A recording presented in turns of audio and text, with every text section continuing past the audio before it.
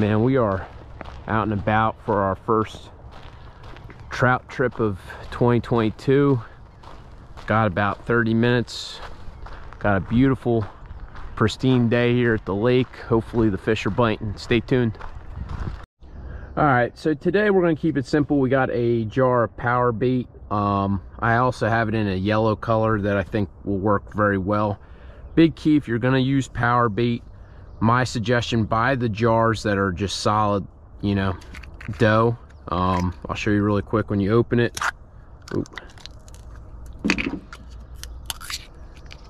Why i recommend these over the nuggets is you get more for your your money ounce wise and it takes you know just a second to make a ball power bait ball. Now what i have is a Gamakatsu single egg hook um, using four pound test. And all I'm gonna do is take this power bait and kind of feed it around the hook and really make sure that that ball is compact because you want it to be able to float. If there's any like breaks or openings, it's not gonna float very well. And I got a little split shot about 12 inches up. Now, biggest key my fish just jumped there. Uh, when you're fishing power bait, I'm gonna show you right here, you want it to be able to float. So I'm dropping it right now. Notice how it's floating. Now it's pretty shallow right here. Where I'm gonna be casting might be a little bit deeper. You wanna make sure that's floating. You don't want it on the bottom with all that vegetation because uh, most of the time it's not gonna end up working well for you. They call it, I guess, the float rig and one thing you could do, like right there, for something as shallow as that, you can adjust it by moving the split shot down. Like I just moved it down about six inches. And now, see how it's floating, suspended off the bottom? That's how you want it.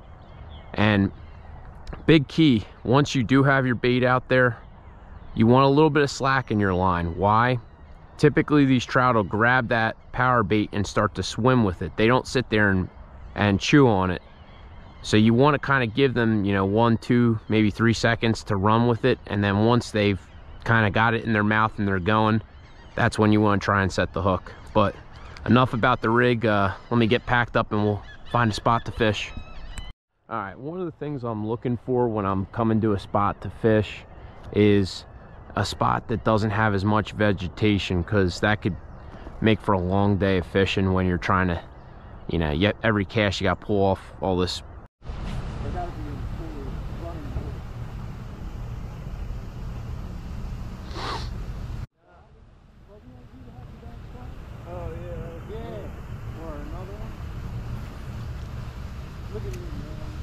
Got him. You got him, man. Finally, yeah. Look at this guy, man. Took a minute. That's how it's done, man. Did All you right. catch him on the corn? Yeah, first one. Good. Oop.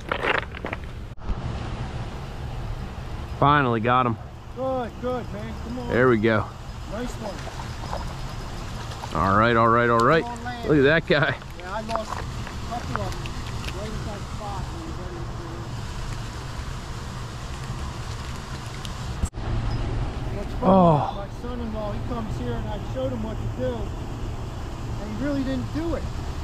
And he just made up his own rules, and he left in 20 minutes. Tuh. And I'm like, dude, do you actually expect to have success when you invest 20 minutes?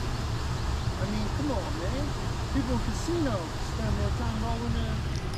There you go, bro. Got him, yeah. Rolling the dice, man. Another Yep, yep.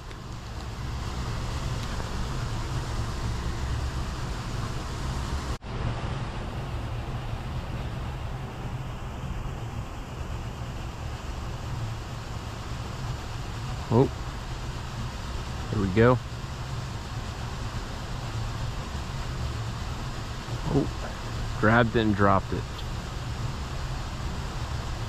See if he comes back. Got him. Oh, good, man. Can't resist it.